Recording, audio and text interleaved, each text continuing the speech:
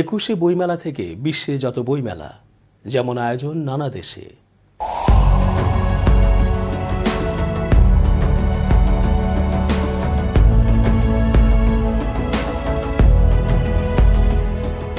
আসসালামু আলাইকুম। সুপ্রিয় দর্শক, শুভেচ্ছা রইল। এস জে রতন, স্বাগত জানাচ্ছি চেঞ্জ টিভি আন্তর্জাতিক চোখ অনুষ্ঠানে। বাংলাদেশের বইপ্রেমীদের প্রাণের মিলন মেলা হিসেবে পরিচিত একুশো বইমেলা শেষ হয়ে গেল। কিন্তু এর উৎসবপূর্ণ আয়োজন যেন স্মৃতি করে দেয় আমাদের। স্মৃতি নিয়ে ফেরে প্রতি বছর। সারা পৃথিবীতেই এমন অনেক বইমেলা প্রাণ জুড়িয়ে দেয় বিশ্বের তাবৎ বই পড়ুয়াদের।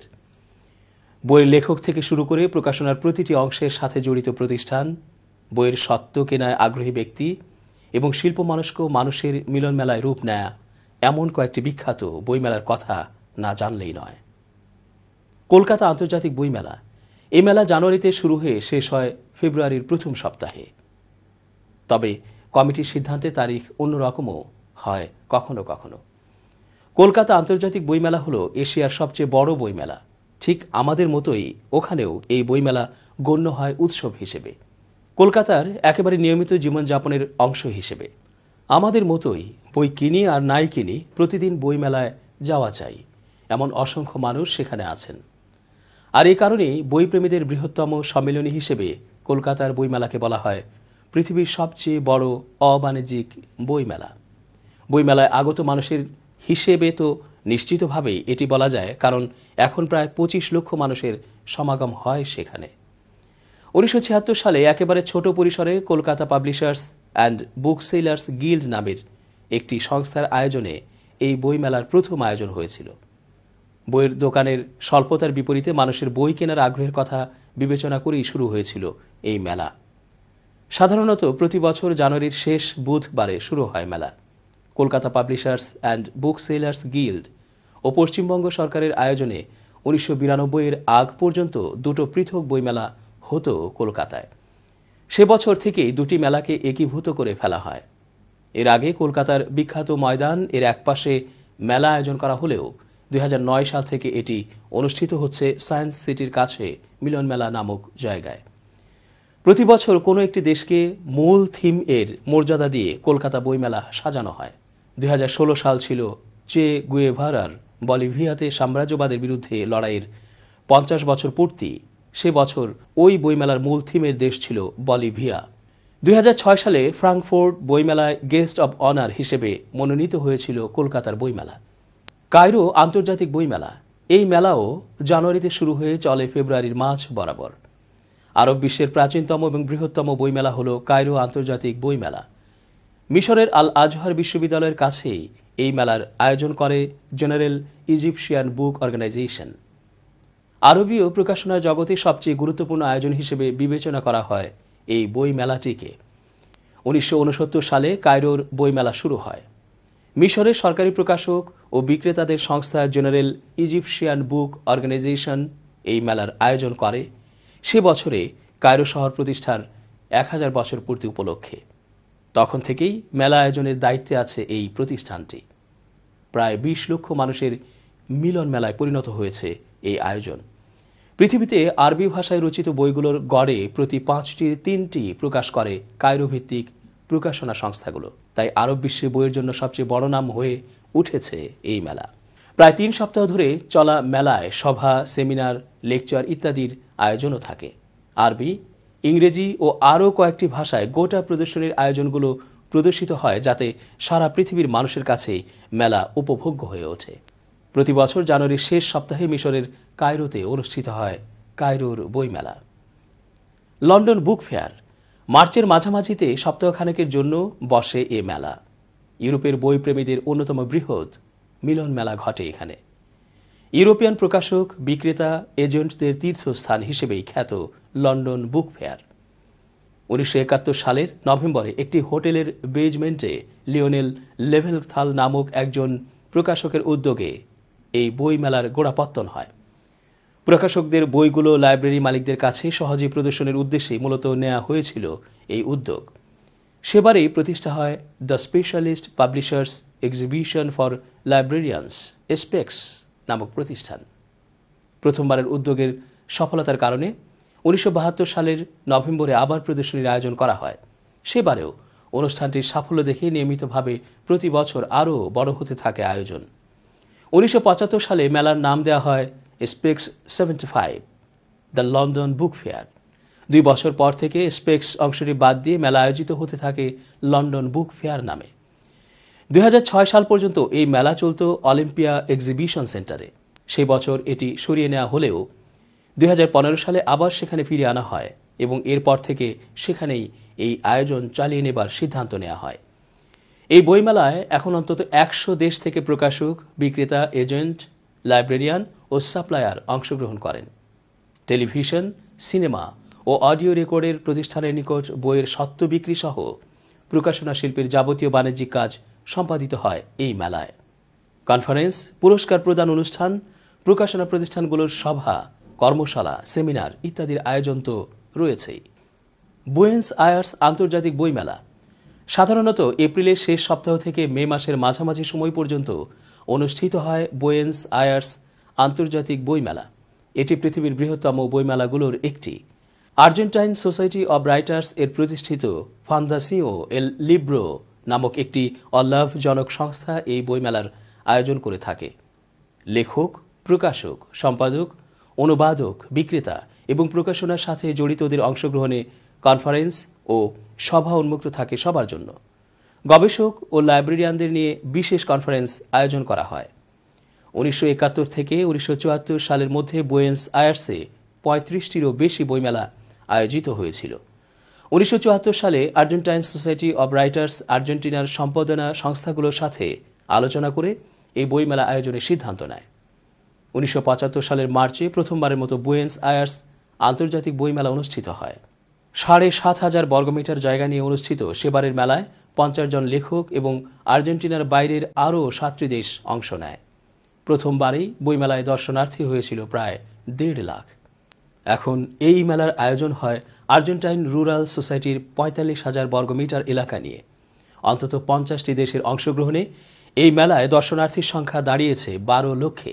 প্রতি বছর এপ্রিলে অনুষ্ঠিত হওয়া এই মেলা চলে তিন সপ্তাহ পর্যন্ত। ফ্রাঙ্কফুর্ট বইমেলা। অক্টোবরের মাঝামাঝি সপ্তাহে চলে ফ্রাঙ্কফুর্ট বইমেলা। ফ্রাঙ্কফুর্ট বইমেলাকে বলা হয় বাণিজ্যিক দিক থেকে পৃথিবীর সবচেয়ে বড় বইমেলা আর দর্শনার্থীর আগমনের দিক থেকে ইউরোপে এর অবস্থান দ্বিতীয়। জার্মানির ফ্রাঙ্কফুর্টে প্রতি বছর অক্টোবরের মাঝামাঝিতে এই মেলার আয়োজন করা হয়। পাঁচ দিনব্যাপী মেলার প্রথম তিন দিন থাকে কেবল বাণিজ্যিক উদ্দেশ্যে আগমনকারীদের জন্য।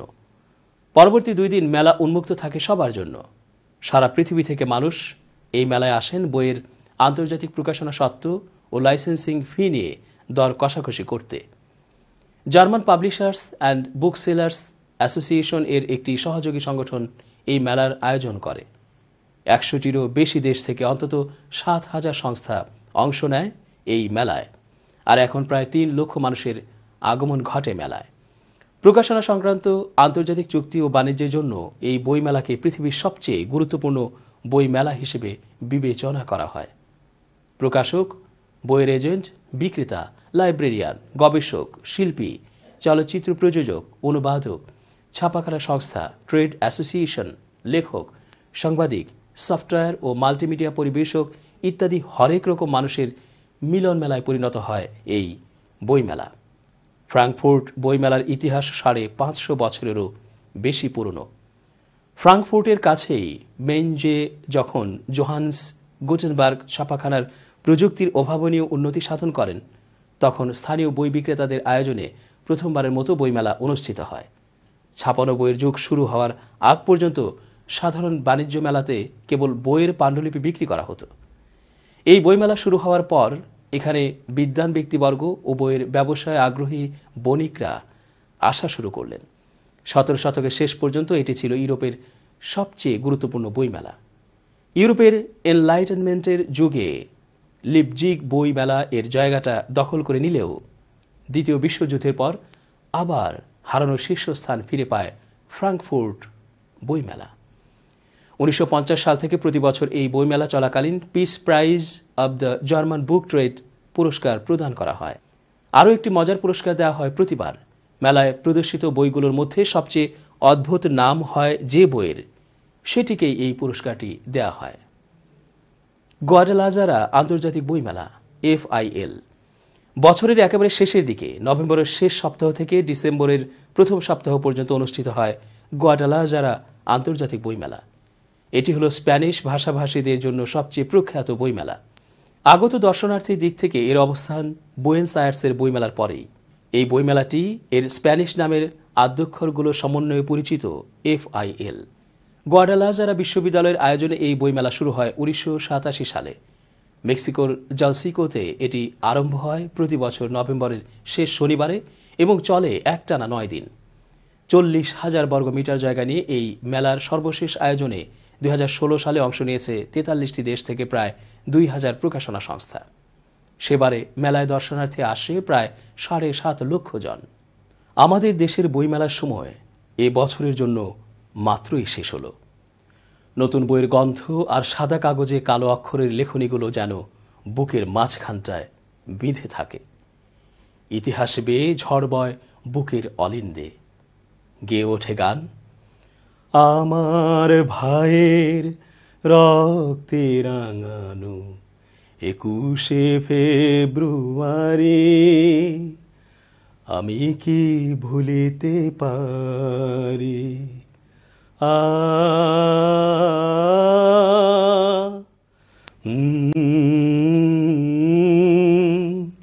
আ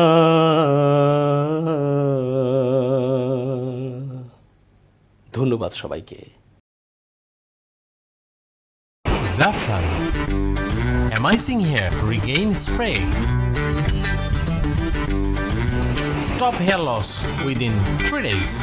3 inches hair growth within 1 month. Grow new hair within 2 months. আমার মতো ঝলমলে ও লম্বা চুল পেতে চাও ট্রাই করো Jafran hair growth therapy get the original Zafran oil, don't forget to scan QR code of the security card.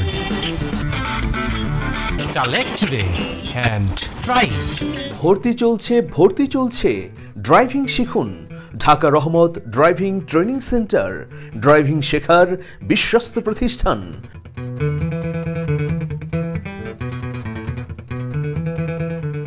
যোগাযোগ করুন zero one nine two two three six nine five nine four আমার এখানে অতি যত্ন সহকারে driving শেখানো হয় থাকা খাওয়ার সুব্যবস্থা আছে। যারা বেকার তারা আমার কাছে আসবেন। খুব ভালো একটা ড্রাইভার আমি মানায় দেবো ইনশাল্লাহ। আপনার গুরুত্বপূর্ণ অর্জন এবং কাজগুলো সম্পর্কে সবাইকে অবগত। ব্যক্তিগতভাবে আপনার অথবা আপনার প্রতিষ্ঠানের সুনাম ও সমৃদ্ধি ছড়িয়ে দিতে আপনার পাশে রয়েছে web kingdom. Design graphics design motion graphics professional photography videography Facebook ad paid campaign সহ আপনি পাচ্ছেন নানাবিধ সেবা। বর্তমান সময়ে ফেসবুক ইউটিউবের মতো চমৎকার মাধ্যমের বিকল্প আর কিছুই নেই। এইসব মাধ্যমে লাখ লাখ মানুষের কাছে আপনার বা আপনার প্রতিষ্ঠানের তৎপরতা ছড়িয়ে দিতে যোগাযোগ করুন আমাদের সঙ্গে এই নাম্বারে। আমরা কাজ করছি বিশ্বস্ততার সঙ্গে। তাই আমাদের সঙ্গে রয়েছে Marie Stopes Bangladesh, highway police, Hamdard Bangladesh, one pharma, drug international সহ অসংখ্য প্রতিষ্ঠান। আপনার ফেসবুক এবং ইউটিউব ব্যবস্থাপনা বা ক্যাম্পেইনের জন্য আমরা সবসময় রয়েছি শতভাগ সক্রিয়।